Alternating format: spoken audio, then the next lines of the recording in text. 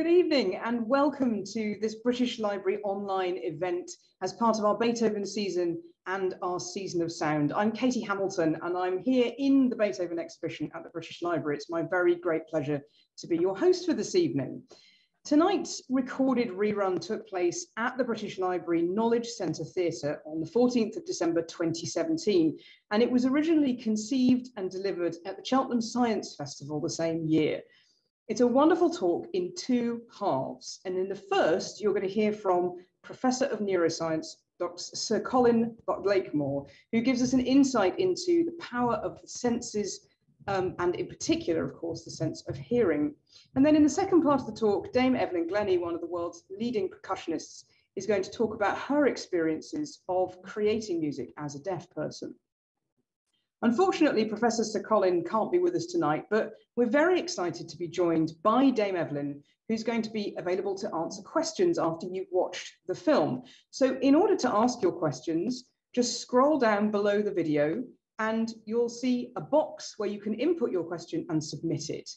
Once we've watched the film, I'll be back on your screens talking to Evelyn and we'll get through as many of your questions as we can by the end of the event.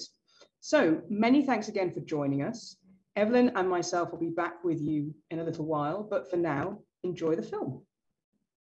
Um, welcome to this, um, this conversation. Um, as John said, it's a, it's a replay of a discussion that Evelyn and I had at the Cheltenham uh, Science Festival a few months ago. Um, we've got a longer period of time this evening, a little bit longer. Also, both of us have forgotten what we did then, so this is going to be entirely new.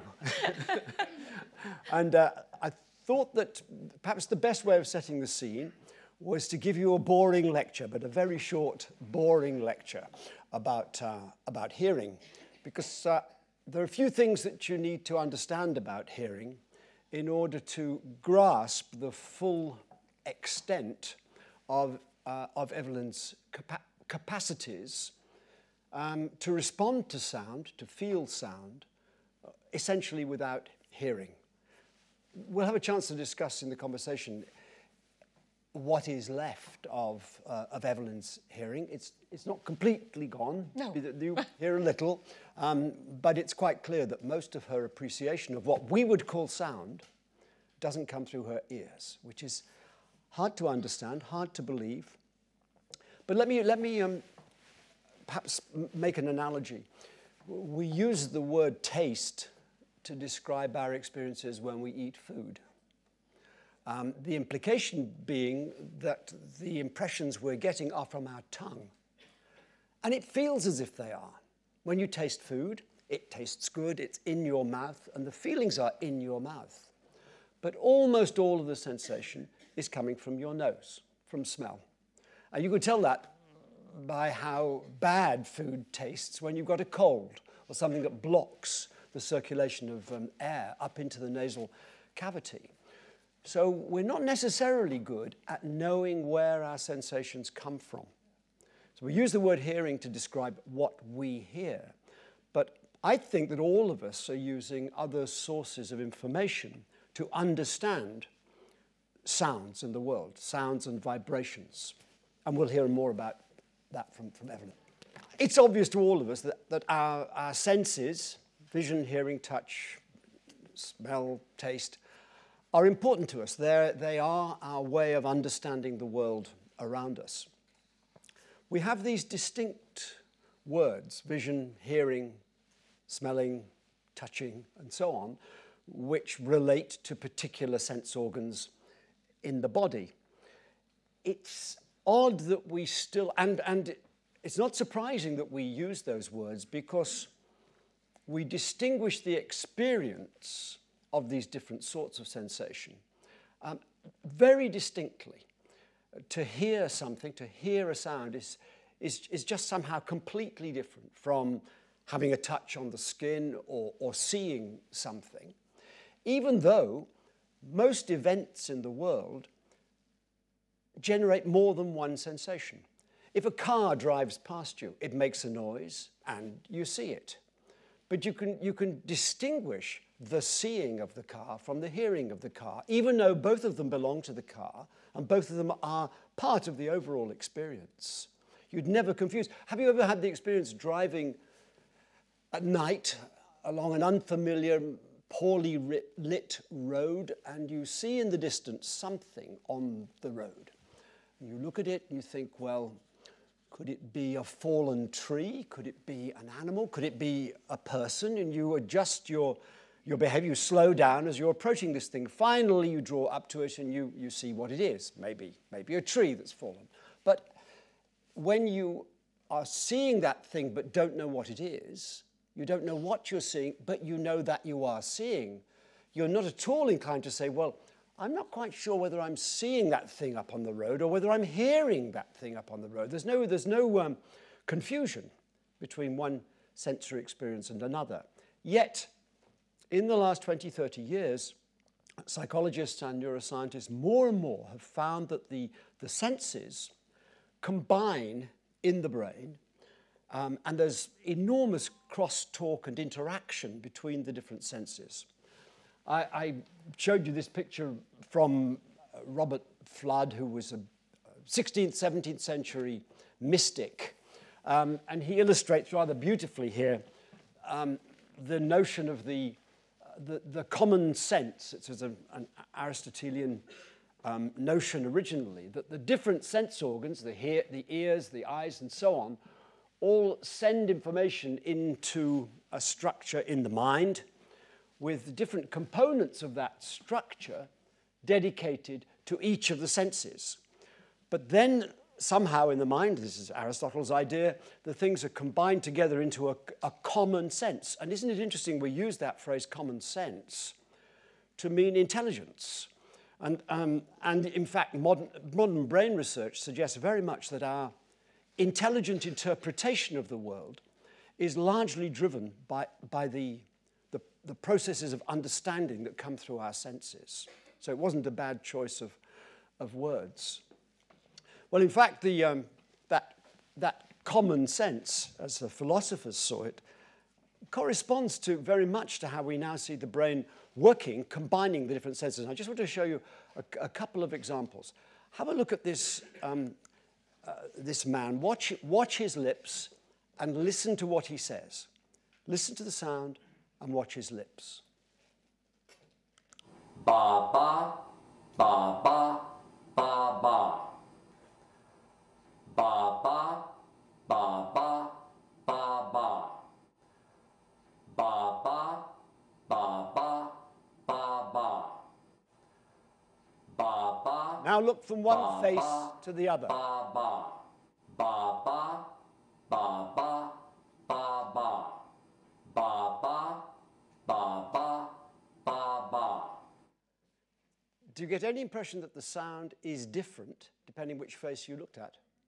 But it's, it's obviously the same sound all the time. You can look from face to face, and the sound seems to change subtly. The movement of the lips uh, somehow modifies the way in which you interpret the, the sound. I mean, that makes eminent sense. We are all lip reading when we speak to other people who are close enough to see. And the kind of lip reading that, uh, that Evelyn's capable of doing and, and our visitor in the second row is only a, a very extreme version of something that all of us are doing. We're using the visual information from the movement of the lips to supplement what we're understanding from the sound. And the visual information can change our appreciation of the sound. We know where that happens in the brain. It happens in the auditory parts of the, the uh, of, of, the brain. There's a direct interaction between visual information and auditory. Um, I'll give you another example. It, has anyone here been to um, the Fat Duck restaurant? no, I have. I have. Well, it, this is um, Heston Blumenthal's you know, world famous restaurant, best restaurant in the world two years running a few years ago. Um, and um, well, I'll, I'll, sum up my experience. On the way home, after arriving, uh, I, know, I know Heston quite well, and you'll see why in a minute. So he invited me to go with someone else from my institute. And he said, Do you know, you really must arrive by 7.30. And we both thought that was a bit sort of uncivilized for a really fancy dinner, maybe 8.30 or even 9. He says, no, no, you must come at 7.30 because we, we must close by 1.30. Yeah, and that's how long it took. We ate until 1.30, um, 19 dishes or something. It's norm- normally 14, but he added a few extra ones.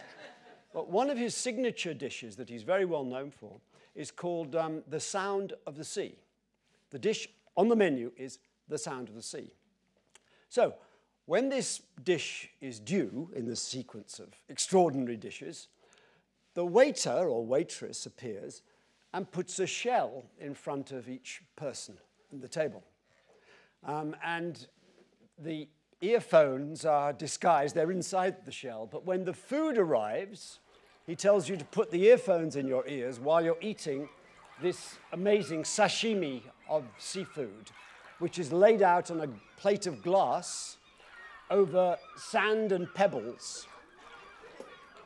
And what you're listening to is seagulls and waves breaking.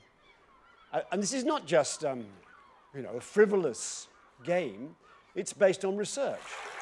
It's based on research that Heston did with a colleague in Oxford, Charles Spence, showing that the, the taste of the food is changed by different sounds. And that the, not surprisingly, the sound of the sea complements the sound of the taste of seafood and enhances it. Uh, Charles also, I'll stop the seagulls. Charles, Charles also did a wonderful experiment for which he won the Ig Nobel Prize. If you, if you know about this wonderful prize, which is given for um, very clever research, which is never going to win a Nobel Prize.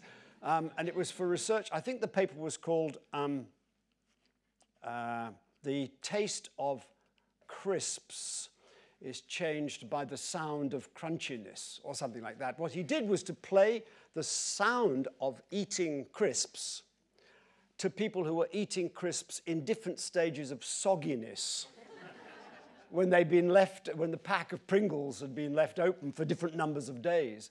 And he found that he could restore the apparent crunchiness of the crisps by playing the sound of crunching as the person was eating them. Extraordinary interaction between sound and taste.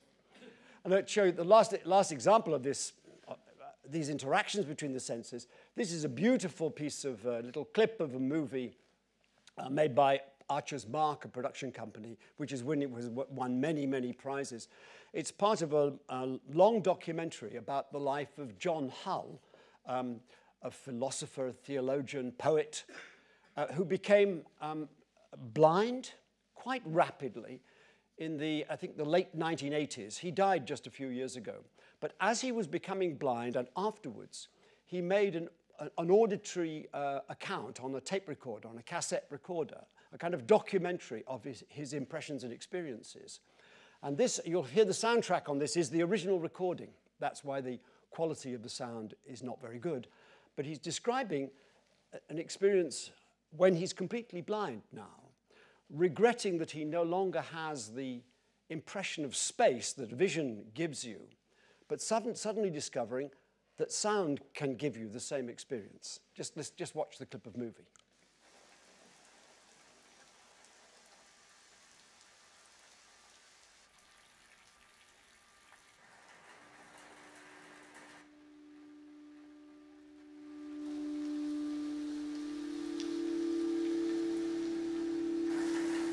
If only there could be something equivalent to rain falling inside. Then the whole of a room would take on shape and dimension.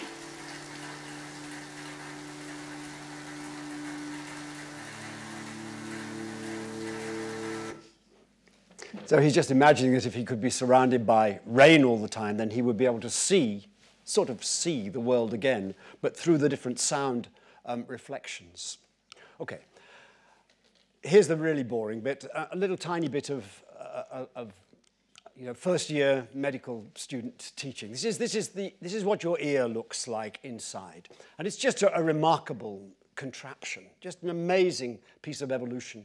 So the sound comes in through your, what we call the ear, but the interesting bits are all inside. Sound comes in here. And this is a, something I want to, to emphasize. I mean, all of us who can hear, and, and some of us who can't hear, have a very rich experience from the vibrations in the, in the air around us, which is sound. Sound is simply a pattern of vibration of air molecules striking the ears or striking the skin, moving through furniture or through the floor or whatever. It's just vibrations. But, but everything that enters the ear is a single stream in time of these patterns of vibration. Uh, there's one line of information entering through the ear at any moment, um, and it runs continuously in time. But contrast that, the fact that all of your, it's not like the eye where there's a real image in your eye, lots of different positions and places and brightnesses and colors. The ear has one, one single line of information over time coming in. These vibrating uh, waves of, of, uh, of air molecules. And from that, we gain all of our sound appreciation. We distinguish different people, different voices, the sounds of objects and movements in the world around us. Listen to a symphony orchestra, and, and each instrument is in a different position, a different distinct sound. Go to a, a party with lots of people speaking, and you can, you can watch the person in front of you that you're talking to but you can be secretly listening to a conversation that's going on somewhere else in the room. We can, it's as if we have that soundscape around us and we can pick and choose what we listen to. We can distinguish all the different sorts of sounds. But all of that information just comes in as this one single stream of vibrations into your ear. It's the brain, of course, which is doing that process of taking them apart. And I'd like to talk to Evelyn later a little bit about whether she can still do that kind of dissection of different sounds. Okay, so the sound comes in, goes down the, the ear canal, and hits the eardrum. And inside, beyond the eardrum, is this amazing uh, little articulating collection of three tiny bones, which essentially amplify the pressure, increase the pressure at this point here, where the, the third of the bones pushes in and out, following the same pattern as the sound waves which are hitting it. The sound comes here carrying all the information about voices and traffic and people and instruments and everything, hits here, gets transmitted through here, hits here on another window, another membrane, which connects to this thing.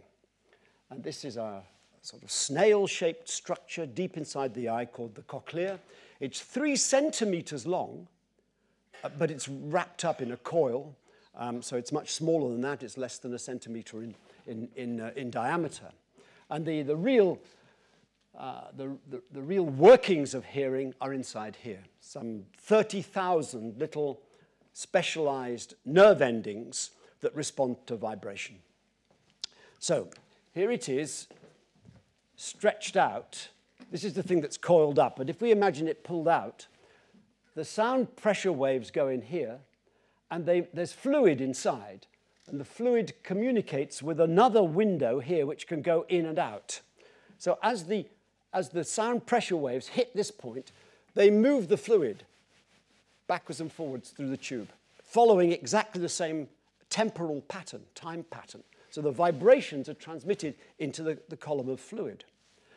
But because the structure of this part, these are the, the hair cells along here, the thousands of sensitive endings, because of the shape of this membrane between the two compartments, uh, it, it narrows towards the top.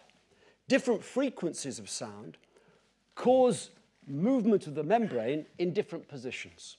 So a very low frequency sound causes all of the membrane to flap backwards and forwards, but a high frequency sound causes only this bit to move. The sound, the, the fluid movement transmits through the membrane in this region alone. So different parts of this structure respond and vibrate most to different frequencies of sound. And that's the basis of how we distinguish everything, distinguish voices, distinguish musical instruments, and so on.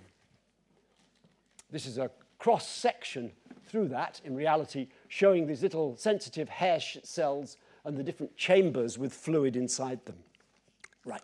So now, could we have the lights up in the theatre? Um, I want to ask for your help. Could we have the lights on, on the audience and, and the projector off? Is that possible? Or not? If you turn the projector off, will it still keep the trans translate. That's, that's good. Fine, excellent. Okay, so now, if I can go over here.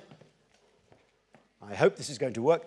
I'd like you all to um, help me with a, uh, a little test of your hearing. Um, now, looking around the audience, we're a bit too uniform in age for this to be really convincing. But no, no, we've got, we've got some younger people. That's great. What, um, all right, what I want you to do is to put, I'm going to play you sounds. I'm going to play you a continuous sound which is changing in frequency. It goes from very low frequency, incredibly low frequency, up to higher and higher and higher frequency. It takes a minute or two. Um, while, it, uh, while it's running, I'd like you to hold your hand up if you can hear it. And be honest, put your hand down when you can't. Okay? So, all, all, of you, and just look around the room to see who is still hearing it at the end. Okay? Here we go. Um, let me just expand the view. You, you can, you're going to be seeing the, the pattern. If we can have the projector back on, you're going to be seeing the pattern of sound here. And you can see the, the frequency of the sound. Hertz, it means cycles per second. So, so the, it begins with a, a, sound pressure wave which is vibrating 25 times a second. Very, very low, right? And you might be, some of you might be able to hear even that. Here we go. Remember, hands up if you can hear it, and keep them up.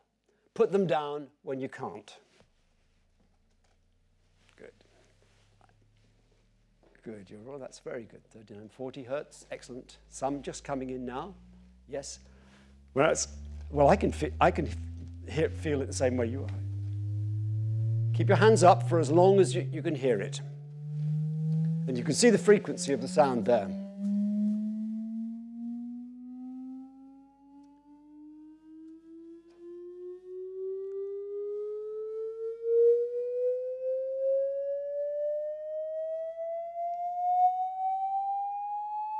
We're getting close to the most sensitive part of your hearing. That's why it sounds loud.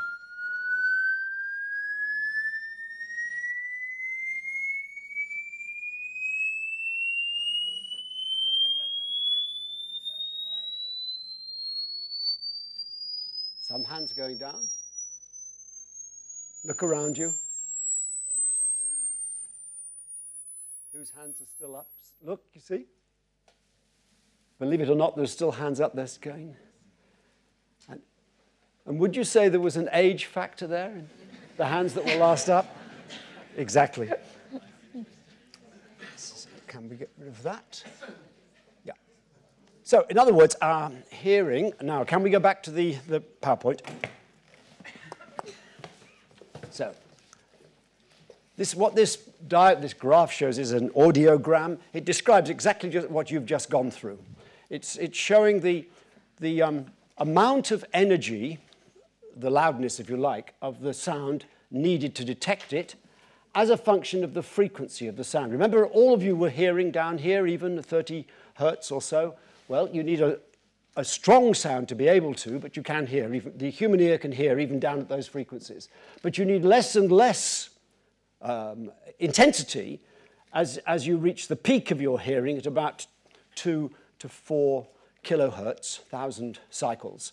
And then it cuts off very suddenly as you go up. And this high frequency limit changes with age. We, we lose some of the hair cells in our ear, they become damaged, and it gradually regresses. Some of you were, were cutting out around six kilohertz or so. I'm about eight kilohertz for the moment. Um, it, it, varies with, uh, with, with age. Different animals have different ranges of hearing. So bats, for instance, and even mice can hear far beyond hu the human hearing of, of, even a young child, up to close to a, a, a hundred um, kilohertz. And uh, fish, dolphins, pigeons, whales can hear sounds much lower than we can hear. So a, a pigeon flying, and, and the sensitivity is very high, and very low frequency vibrations, very low frequency vibrations of the sound in the, in the air, sounds that are produced, for instance, um, it, by storm activity, big storms, or aircraft um, travel over huge distances. So a pigeon, I calculated that a pigeon in the Rocky Mountains of the States could have heard the sonic boom of Concorde crossing the Atlantic, which, is very, which has a very low frequency component. So birds, some birds are very sensitive to low frequency sound. So our, our, our appreciation of the world is limited by the capacity of our, of our sense organs. I just want to finish the lecture by saying that um, just like taste, and just like those other interactions between the senses that I described, our ears are not the only way that we can understand and appreciate vibrations in the world around us. The ears are very good for sound, for air-based vibration. But vibrations are transmitted through everything, from, from the stage we're standing on. Evelyn was able to detect the sounds, if you were watching her, up to reasonably high frequencies um, without, without normal hearing. Uh, so we're able to, to appreciate sounds in other ways. Um, and that's, that's done through a variety of other receptors in our body. If you look at a piece of skin, there's a hair follicle here. There are lots of different nerve endings of the skin responsible for different kinds of sensation, uh, pain and temperature, but also mechanical stimulation of many different sorts. Uh, and these um, funny things down here, deeper in the skin, called Pacinian corpuscles, are incredibly sensitive to high frequency uh, vibration. They can detect movement of less than one thousandth of a millimeter movement in the, in the skin. And these things are scattered through the whole of the, uh, the body. There are also receptors in our muscles and our joints, all of which are sending information that we're not really aware of. Normal, most of us who have hearing are not acutely aware of yet they must be contributing to our understanding of vibrations in the world around us. So that's my little lecture. Uh, no, yes, just to finish, this is like an audiogram, but it's nothing to do with the ear. This is a description of a sensitivity of human beings to vibration transmitted through the body. So again, it shows the amount of energy needed to detect vibrations as a function of the frequency of the vibration. And you can see the same basic sort of shape. There's maximum sensitivity around about 8,000 hertz, but it goes up to 100 kilohertz, the level of hearing of hearing of a bat. And it goes down way below 20 hertz, or the sort of normal limit of hearing, down to uh, as, as little as a, a tenth of a cycle of movement. So we're actually much more sensitive. The range of vibrations that we can detect through our body is wider than the range of sounds that we can detect through our ears. But most of us are unaware of that capacity. We have it, it doesn't normally invade consciousness fully, um, and we think that all of our experience of vibrations coming from, from our ears. Okay, I'm going to stop there. Can we turn the, this off now then so it makes the, yes, it's the commentary better. So, so there's my lecture. Sorry to have taken so long. Um, it's amazing. Now, um, we're going to hear from, from, from Evelyn. I have a, a question before yes, we, we get into a conversation. Is there a type of animal whereby the, their hearing actually improves is, rather than deteriorates? So, for example, with a bat that relies very much on vibration, yes. does their hearing actually improve with age? Oh, goodness. I doubt it because the, the, the change with age is caused by a gradual loss of those little sensitive uh, nerve endings. Mm -hmm. And improvement would imply that you got more of them, but that doesn't happen. Okay. So I think the only way down, uh, the only way is down. If you okay, say, right. I'm afraid. Um, yeah, but the uh, you know the ability of, of course bats live short lives, yeah. so they don't suffer from the kinds of problems associated with old age in in, in humans, at least not in quite the same, mm. same way. Mm. Mm. But they have to have specialized areas in their brain to understand the kinds of information that come from those very high frequencies. And they, you know, bats use reflections of sound, mm -hmm. like a kind of radar system, mm -hmm. um, to fly in the dark. And, and, and they, have, they must have some kind of impression of the world, -hmm. almost comparable to vision. It's, it's, hard to know what it's like. In fact, there's a, a classic philosophical paper, much cited philosophical article called What It's Like to Be a Bat, where Thomas Nagel considers this question. We, can, we know what bats can do, we can look at their behavior, but we can never understand what it must be like mm. to be capable of seeing with sound, mm. which is essentially what they must be doing. Mm. So, over to you, Evelyn. I wanted to start because I'm quite sure that the audience will be as interested as I was when we first discussed this to know about how it, how it happened. Tell us your story. Of, you had normal hearing when you were very young. Absolutely. Um, basically, I was brought up on a farm and uh, and so you can imagine the, the type of sound world that I was exposed to, um, that combination between nature, uh, growing up with animals and also machinery, and the responsibility that you had with that soundscape in a way. And I think that's really important because um, when you're in that type of environment, you have an ownership really of the sound um, because if your parents are allowing you to be, you know, next to machinery or uh, or next to livestock or whatever, you know, you're very very sensitive to what is right there in front of you. So actually, your senses are pretty razor sharp, even although you're not thinking that that's the case, um, but it is the case. And, uh, and with that sense of responsibility um, that you're allowed and free to have, um, it's amazing how, in fact, all of the senses become, in a way, this mysterious sixth sense. So there's that sort of patience, I think, in that type of environment um, that allows you to, I suppose, listen to the senses. So for me, I found that from about, uh, well, when I was uh, at, at, the age of six, I had mumps. And really from the age of eight, I began to have real problems with very sore ears. So whenever I went outside, um, especially if it was windy and things like that, that my ears would just really thump, thump, thump. They're really sore. And, uh, and of course, you know, my parents, they, they said, oh, you're okay, you're fine, you know, and it took them ages to uh, get me to the doctor and so on, until eventually the school noticed that um, there seemed to be a, a difference in the way that I seemed to be in the class. I was more isolated. But bear in mind that I went to a primary school whereby the whole school consisted of 37 pupils and two teachers. So it was very easy for the teachers to tap in, two teachers, by the way, at the, at the school, but to tap into each individual. So they were very aware of the subtle, subtle differences that were happening. For me, at that age, at the age of eight, I was not thinking, oh, I'm losing my hearing and things like that. It was just a, a real bother to have um, this, this kind of pain coming through.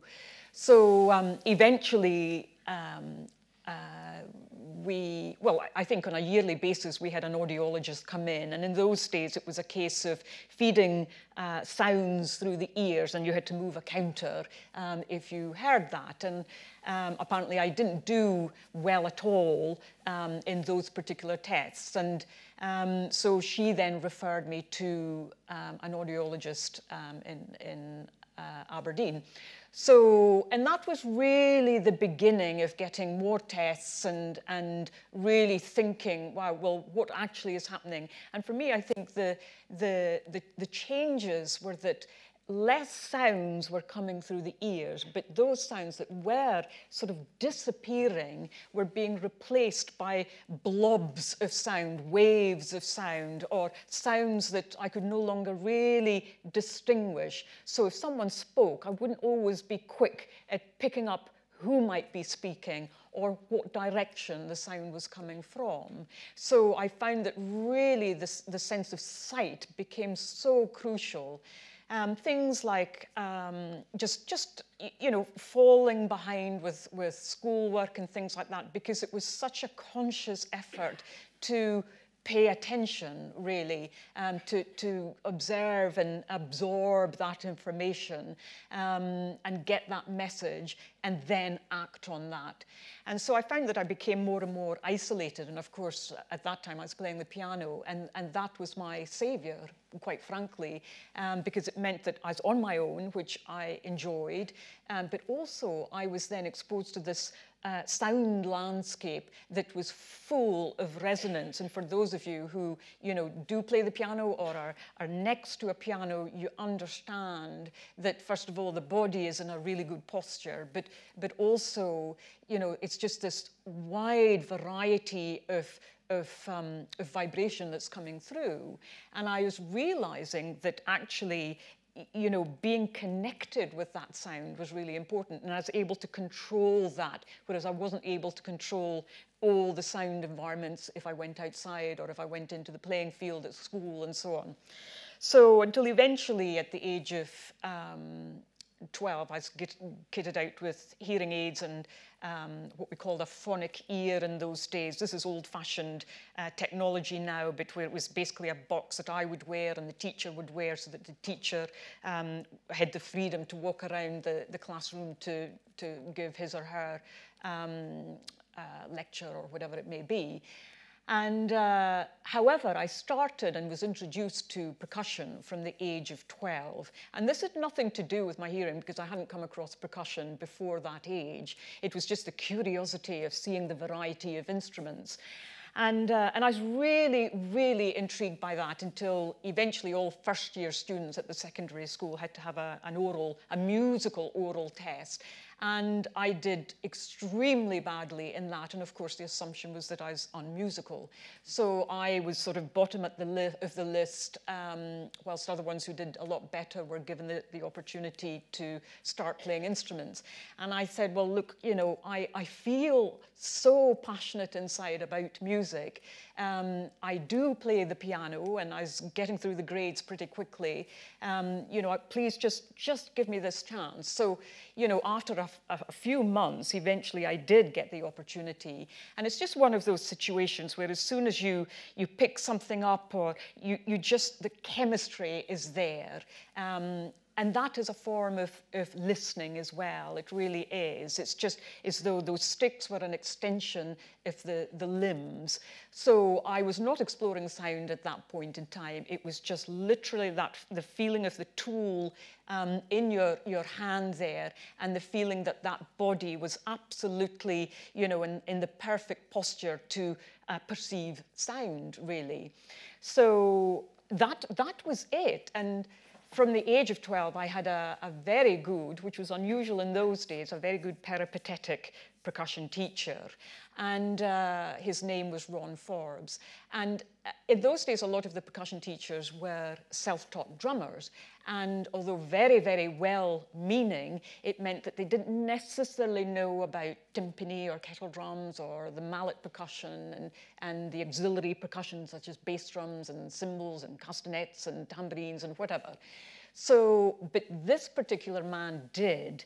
And what was so interesting about him was that he did not allow us to specialize in one particular instrument. So a lot of the, the young lads wanted to play drums, but were not necessarily interested in the xylophone or whatever. So he made sure, and his, his whole thinking was that, well, no matter whether you're introduced to percussion or a tuba or the voice or a paper and comb or an accordion, the, the key thing that links everything like that is sound, is sound. So that's it. So whether I play percussion or I sing or play the piano, I'm creating sound and making this sound meal um, for our, our customers. So it was very important to tap into what he was about. He basically saw all of his pupils as being sound creators first and foremost. And in order to do that, you have to have uh, some understanding of the structure of music, a, a musical sentence, as it were, and see that sort of musical story when you're reading a score. You know, we read a book, well, we read a score. And uh, and, but in order to do that, you need tools. So in my case, it happened to be percussion. So rather than most teachers saying, well, we want you to be a really good percussionist or a really good violinist or pianist or whatever, he was saying, well, what is your sound? And so that changed really the whole approach to how I thought about sound. But what he did, because I was fighting with the fact that a lot of sound through the hearing aids was coming through here, and that was really overload. So I felt inside, I was actually fairly sensitive as a musician and I understood about the musical uh, structure and so on, but I couldn't get that in lined up or in place or projected because of this enormous kind of barrage of and waves of sound that was coming through the ears because the, the hearing aids were amplifying everything. So he and he found that I was just sort of bang, bang, banging and just playing when I wanted and not listening to other people and so on, because I was, I was trying to listen to myself. And this was really affecting my sense of dynamics, my sense of touch, my balance, all sorts of things. And the less I heard something, the more sound I tried to give it. So basically, he said one day during a lesson, Evelyn, take your hearing aids off, which I did. And he said, he, he struck a, a, timpani and he said, Evelyn, can you actually feel, physically feel this drum? And he asked me to put my hands on the, on the wall of the room. So I did that. And I said, yes, yes, I can. I can feel that. So he then lessened the interval of the two drums that he had there, bit by bit by bit by bit by bit. And the subtlety in, in the differences was amazing, but it went from, you know, feeling it from, let's say, I'm just saying now, here to here, to then here to here, here to here, here to here, here to here, and so on. But my listening was suddenly magnified unbelievably, and I had that real patience to pay attention to the beginning, the middle, and the end of the sound, rather than just the impact of that sound. So as listeners, we're often affected by the impact only of that sound, but the resonance of the sound is where we just, makes a difference between one interpretation and another interpretation. So basically, it was about listening to the room, and that became my instrument. Not the drum, not the timpani, not the cymbal. The room became my instrument. So, how was I going to paint that sound and allow that sound to have its own natural journey in accordance with the acoustics of the room? So, what it did was that it suddenly well, not suddenly, but gradually really allowed me to, to pay attention to the sense of touch, to the sound color, because very often when you start percussion, well, loud is in the middle and soft is always at the edge. And, you know, those are the two basic colors, sound colors that you get. But that, that was just, that didn't mean anything to me now because I also knew that I could play loud at the edge. So what kind of sound color is that? Is it a thin loud? Is it a spooky loud? Is it a sharp loud? You know, is it a threatening loud? Suddenly all all of the dynamics became, you know, really interesting as opposed to just loud you know. And um, they, they had a, a description to them. And this really allowed me to paint pictures, as it were, with the, the, the, the, tools that I had. It was almost like cooking or baking or something like that, um, with, with really the tools I had. And it was a massive, massive, I mean, I'm so grateful for this particular teacher because if I had someone who stuck to, well, it's always done like this, it's always done like that, then I may be a, a very different player or maybe not here at all. Um, but what he did do was that in my first lesson, was that rather than open up tutor book one for snare drum or xylophone or whatever it is, he, the first lesson was, Evelyn, take, take the snare drum away and I'll see you next week. And so you can imagine, you know, as a 12-year-old, the, the slight confusion, you know, of, of being in that uh, situation. And uh, so, but with the drum, there were no sticks, and no stand. It was literally this snare drum. And the only thing I knew about the snare drum was that it was called a snare drum or a side drum. So I got home and my parents asked, well, what have you got there? And I said, well, it's a snare drum or a side drum. And they said, well, what are you going to do with that? And I said, I haven't a clue what I'm going to do with this. I don't know anything about this, and I've got nothing to play, play it with, and, and so on. As the week progressed, I suddenly thought, well, I do have something to play it with. I've got me, you know, my imagination. I have limbs. I can use these. And so off I went. I started tapping it and scraping it and all sorts of things like that. But what I discovered was that if I put it on, a, on, on the floor, um, it, it sounded like whatever. If I plopped it on a bale of straw, it changed the sound. If I popped it on a pile of, of, stones, it changed again, or on the grass, or whatever, on a cushion, or on my bed, whatever.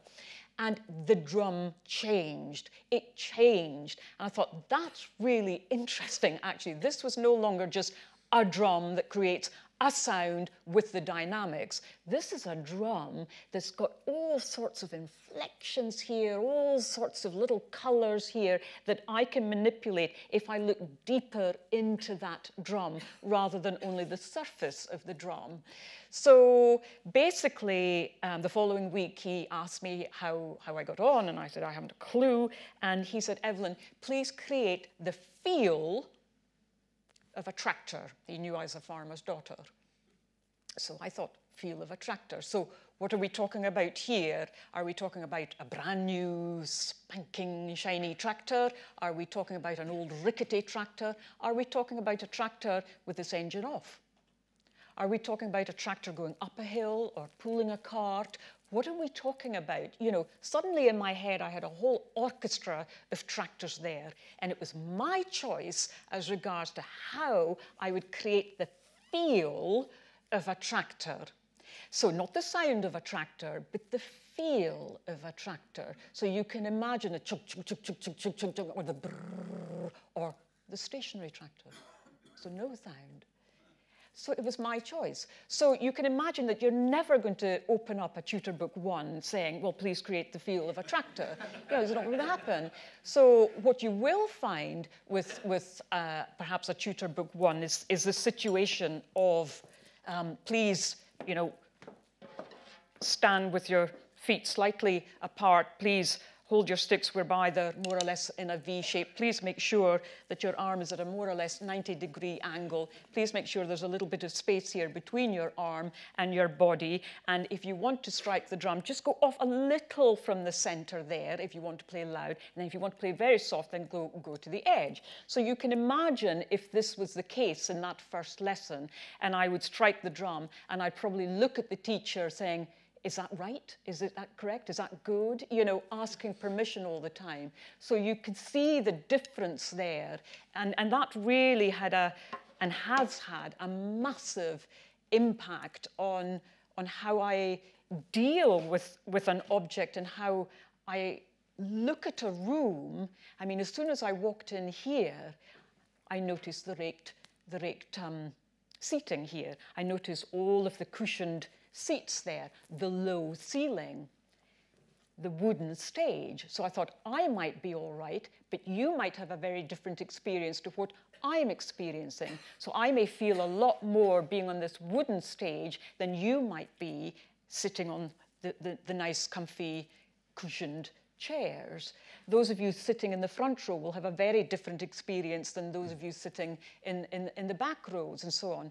What are your moves? What's been going on in your day today? How are you sitting? You know, it goes on and on and on and on. So my job isn't to make you feel this or feel that. That's your responsibility. It really is. But my job is to give you this kind of sound meal whereby you can then take ownership of that and deal with it as you wish. So, and each performance that happens means that you're you're in a way giving a world premiere all of the time, even although you're playing the same piece maybe a hundred times in your career, even more.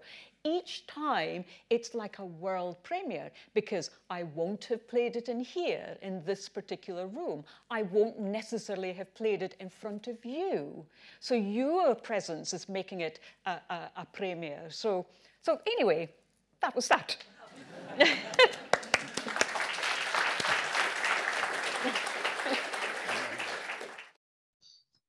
Dame Evelyn Glennie there with Professor of Neuroscience Colin Blakemore. um, filmed here at the British Library in 2017. And we're absolutely delighted that Evelyn's able to join us this evening. Evelyn, lovely to see you. Hello. Hello, thank you for having me.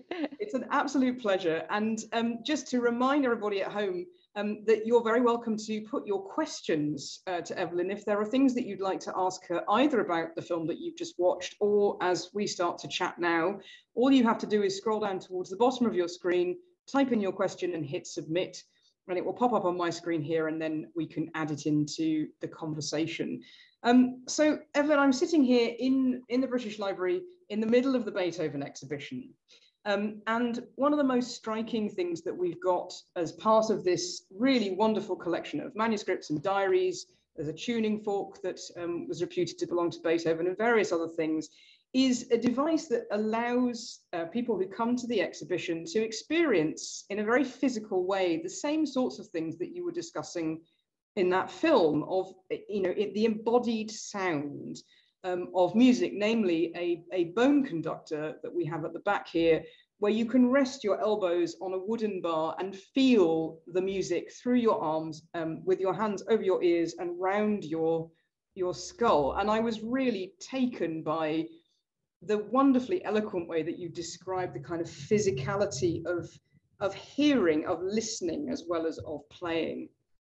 It struck me very much that one of the things that we talk about a lot when we talk about Beethoven and his, and his hearing is his isolation, um, his social isolation, and the fact that that kind of feeds into the idea of the great creative genius who's disconnected from the rest of the world, and other composers talking about um, the very fact that his hearing was not as other people's meant that he could sort of access different realms and so on. But obviously, he was a musician, he was an embodied musician, as you are.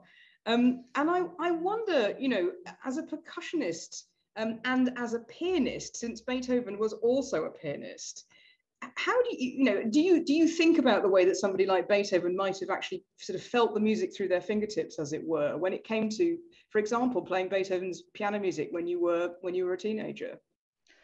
Well, it, it's so fascinating, and and I think we forget, you know, that. Uh, Beethoven really did push the boundaries as regards to stretching the senses and the very fact that he did not have the mod cons as we have now with the varieties of hearing aids, cochlear implants and all sorts of things like that. And, uh, and it's remarkable how he really dug deep as regards to how he could connect the body with his instrument, the piano. And I think although he was losing his hearing, he actually became uh, an extraordinary listener because really this was being fed through a system and he almost became an extension of the piano and the piano became an extension of, of his physical being. And I think it's fascinating that people today can have that opportunity to rest their, their elbows, you know, on a on a, a, a wooden platform and, and begin to see how the body actually operates.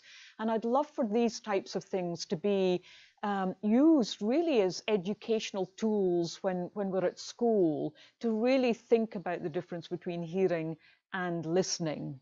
And uh, because Beethoven, he never stopped listening, uh, he never uh, tied the, the two elements of hearing and listening together. Listening, in a way, the less he heard medically, the more he experienced through the whole body. So his body really did become like a big ear, like a resonating chamber.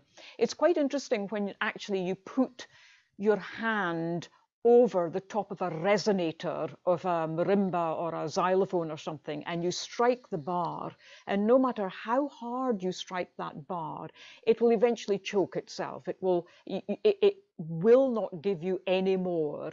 And that is that. So it won't give you any more color any more dynamic. It just becomes a, a thud. But as soon as you remove your hand from that uh, resonator and strike the bar again, the dynamics really spread vertically and horizontally. And I think this is what was happening with Beethoven. Suddenly, the sound that was perhaps being registered through this part of the body and through the ear was that now, you know, really registering in all sorts of directions through his body. It's interesting. He talks about um, when he was first having hearing problems in his late 20s, it's quite striking. Some of the language he uses um, is very similar to the experience that, that you seem to have, have had. Um, that he says, sometimes I hardly hear people who speak softly. The sound I can hear, it's true, but not the words. And yet if anyone shouts, I can't bear it, this kind of blobbiness, I think you described it as of, of sound. Um, but I, I also really struck by what Colin was saying about um, the, the kind of the visual, the importance of the visual, because we know that in the, when Beethoven was rehearsing his very last string quartets, um, sort of 1825, 1826, just shortly before he died, he would run rehearsals with the string quartet that were going to be performing them and was was absolutely kind of eagle-eyed at their bow strokes, at the kind of the, the physical strength and movement that he could see in their arms, their fingers on the fingerboard, and so on. And it struck me also that because he did play the violin, you know, obviously string instruments are pressed against your body in a very direct way that even the piano, even the pianos that he had adapted for him, are not so much of a direct physical connection as a string instrument can be. That's that's so true, and and you know the thing about deafness is that yes, it can be extremely isolating, and it can be very deceiving as well because you just imagine deaf people don't hear anything at any time and that isn't the case at all. And there can be a, an incredible amount of frequencies actually that really do stick out and this can really affect your your sense of balance and your sensitivity as well. So even putting down a, a cup or a mug or a plate or something on the table you could quite easily misjudge that um, because you you can't quite tell what the sound is going to be. And so that sense of, of touch. It's a very strange thing to describe but the eye really plays a part in how much force you put that object on the table. So as a percussion player as a pianist and so on and and really watching any kind of musician the eye plays so much in what you hear. Mm. and this is why we don't really enjoy recordings so much because there isn't that essential element of seeing the musician play. Even before a sound is made you know you can get a sense of, of what that sound is going to be with all of the the pre-physical preparation and very often, if I'm giving uh, classes or master classes or something to, to young players, instantly, as soon as they pick up their mallets and how the limbs move, you can absolutely, nine times out of 10, tell what that sound is going to be. And it's fascinating. And, and I think this is just, again, an example whereby we're all capable of expanding our senses, but also allowing our senses to speak with each other. So building those bridges and entry points as regards to how our senses need each other. So in a way, you know, there are a lot of high sounds. In fact, I'm losing a lot of high sounds. So I can no longer hear a hi-hat, for example. Um, whereas before I could hear a hi-hat. And so therefore my sense of touch when I play a hi-hat, I'm very aware is, is quite different to how it used to be.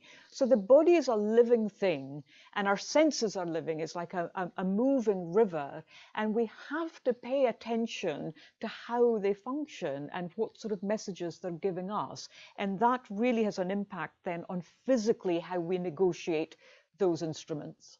And there is something that seems to me anyway, as, as a non-percussionist, that of, of all the various um, sort of instrumental groupings that we might encounter, percussionists are such physical creatures, if you like. There's there's something so kind of choreographic and almost balletic sometimes about the way that you perform.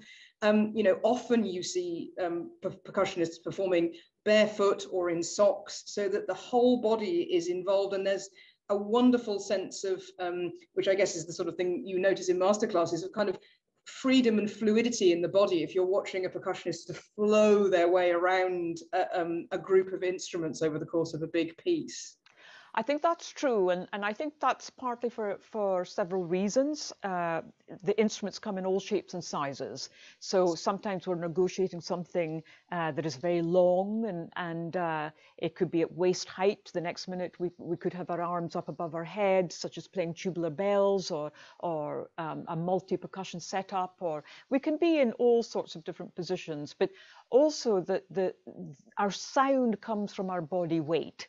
And our sound really comes from our big toe. You know, it's so important to be well and truly balanced and planted on the floor and allowing almost your feet to be like an elephant, you know, so you have this great big specimen, but actually the delicacy of the, the, the feet and how they speak to the rest of the body is absolutely crucial. So it, it, this fluidity I think comes very naturally for percussion players.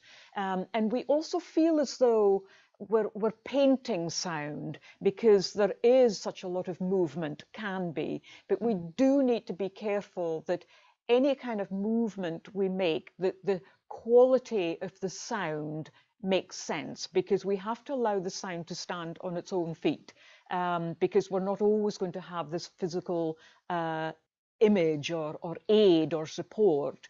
Um, so if we're making recordings or something, there may not be that uh, part that, that, that feeds the more information. So we have to always be sure that, you know, what we're physically feeling is true to our own physical body. And I think with all of the, the devices such as subpacks or um, things that we stand on in order to feel sound or uh, vibrating chairs and one thing or another, they're really interesting. However, the reality of, let's say, feeling glockenspiels or cymbals or triangles on the upper part of your body doesn't make sense if you're suddenly feeling them um, through your legs you know, which sometimes these devices do, and that really affects your your sense of balance and so on. It, it's a very, very strange thing. Or if suddenly you're feeling a bass drum um, through your scalp. Um, so it, it, it's so important to to relate to the sounds that you're creating according to your own body. So I may feel something, let's say on my chest or my tummy or wherever, but someone else may feel it slightly higher in their neck or on their shoulders, wherever it may be, and that's absolutely fine. Um, but there's never usually such a discrepancy whereby we, we may feel a glockenspiel through our feet. It must be so disorientating to suddenly find it's coming yes. from the wrong place really it, odd. Um, we've we've had a question in from um, from Emily who um, was wondering about the way that you encountered this wonderful story you told about, about being given the snare drum for homework, effectively. Um, and she she wonders if if that's how you encountered other instruments as well. If your teachers sort of set you other instruments in the same sort of way. Well, I think uh, I was allowed to discover put it like that. And this was partly because uh, back in the 80s, and or, or rather late 70s, uh, when I started percussion, um, was that our school, you know, didn't have people coming in giving master classes or workshops. We didn't have uh, repertoire that we could buy from the local music store and things like that. So basically, we had to use our imagination, um, mm. as did our teacher. So, um, for example, he may have given us a bit of Bach or something, a, a Bach partita, and it might have been in G minor um, or D minor or A major or whatever it might have been. And he would just ask us to take a phrase of that partita and it, basically it might have just gone and so on. So rhythmically, he might have said, right, Evelyn, play that on the snare drum. So, well, if, if you put that on the snare drum, you might think it just goes non-stop. But actually what he was saying is, what is the feel of G minor? And when you think about that, you know, G minor is not a massively threatening key. It's almost trying to be threatening, but it isn't really, you, you know, um, not like F sharp minor, which is so rich and, and you, you know, in the dark and things like that. And it, it's, it's quite fascinating because once you understand about the ebbs and flow of seeing the phrasing on the page. So you're kind of sight reading, you're deciding what the feel might be, you're, you're deciding on the sense of touch on that snare drum. So suddenly, how you're manipulating the sticks and the snare drum goes far beyond what a teacher can actually teach you. They're giving you the springboard, but then it's up to you to think, what does that G minor feel to you? You know, and it could feel something completely different to someone else. And each time it can be validated you know and that's what's important and that really delves into your natural giving and natural curiosity as regards to how you want to interpret something at that particular time and I mean, I know that you're you're very very passionately committed to education, um, sort of musical education as broadly as possible. So this kind of is this sort of exploratory work with a, a given instrument and set of sonorities something that you do a lot with your teaching and workshops? I, I love this. I think this is a, a, an absolute essential part for young people to explore, for anybody to explore. I mean, this is what we do as musicians. You know, we analyze pieces, but we, we're also um, exploring all of the sound possibilities. And, and we never want to lose that sense of curiosity. So all of the time, even if you think you're playing a one-dimensional instrument, such as a snare drum, you know, and you might think, well, that's all about rhythm, you know, how can it possibly play a melody? Um, but actually, when you begin to use different vocabulary in how you're describing sound and how you're describing dynamics, I mean, how many times during our life have we, you know, read or been told P equals piano equals soft, F equals forte equals loud, what on earth does that mean you know? And but when you think about you know something that's really big and present or something that is really threatening or something that is very majestic you know that can be soft or loud you know, it really can. And so once we begin to explore those sort of things and allowing people to see the instrument as um, multi-layered, as like peeling an onion, you, you know, just looking at the next corner, wondering, well, what would happen if I manipulated like this or that, then it becomes a really interesting experience and it allows them to think that they have permission to explore their instruments in their own way that's that's wonderful, and I, I so interesting to hear what you said about language because um, you know obviously the way that we use language can so affect the way that we then experience music or the way that we then think about a composer. And last Beethoven point before we come back, because I'm keen to make sure we get um, audience questions. Do keep sending them in. Um, that you know, it, it, struck me looking through the Beethoven literature ahead of um, this evening, and there's some really wonderful and interesting things that have been written, particularly recently. Um, you know, sort of historical medical work being done on what might have caused Beethoven's deafness, but also the various things that were done to try and help him and make um, you know adjusted instruments and so on that when it comes to the narrative of, of somebody like beethoven most of what we hear about is the idea of his hearing as a limiting factor that had to be kind of heroically overcome. And actually it strikes me that it's only really quite recently that the narrative has started to shift in a way that strikes me as far more interesting which is you know firstly what does it mean to internalize sound and conceive of it in a way that means that you're not entirely dependent on just what you can hear, but also the kind of exactly what you've spoken about, the physicality of listening, the um, adaptation of his of several different pianos, um, ways of holding instruments against the body, um, some really interesting research that's been done recently um, by some scientists in the British Medical Journal on the fact that his string quartets, whereas his orchestral music, there is no, there seems to be no evidence that the um, the kind of range of pitches or dynamics or anything is affected as he gets older and gets further through his succession of symphonies.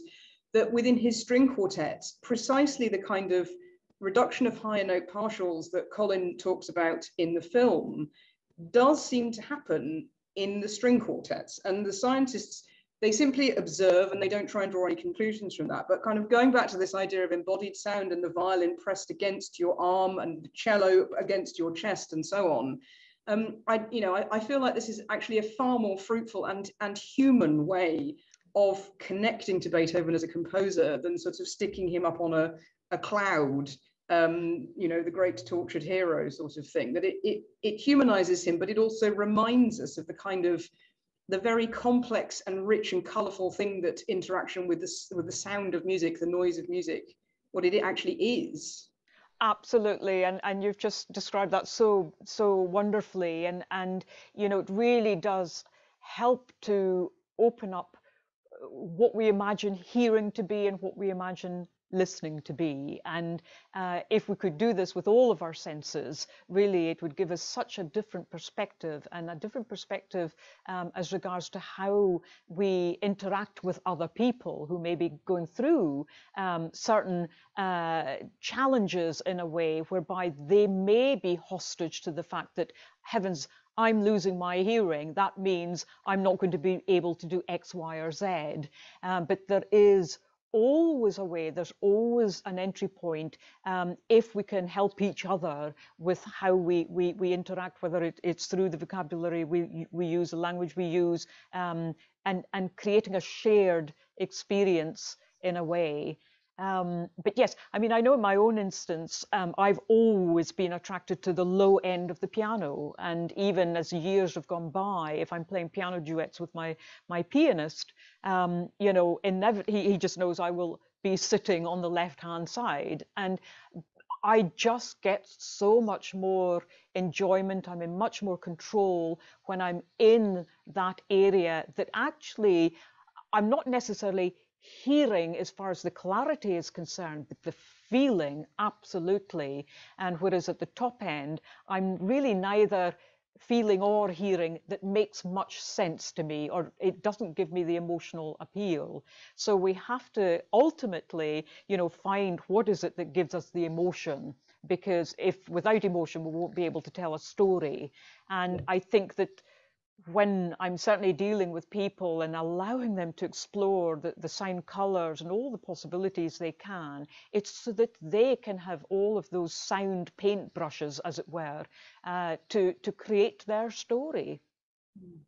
Fantastic, what beautiful images. Um, we've had a, um, a rather more um, kind of up to the minute technological question from, from David, who's asking about um, how it's been the last couple of years being kind of thrown into the Zoom portal um, and, and having to deal with all of these phenomena at a distance and all mediated by technology and what, you know, whether there have been challenges in that and, and also whether there have been sort of unforeseen advantages to it. It's a really important and interesting question um, because for me, and I can only talk about my own situation, is that um, uh, from a musician's point of view, I have gained no satisfaction at all um, from perceiving music through uh, a computer, a laptop, or any means like that. So, however, uh, and, and that's always been the case. So I've never been reliant on any part of that.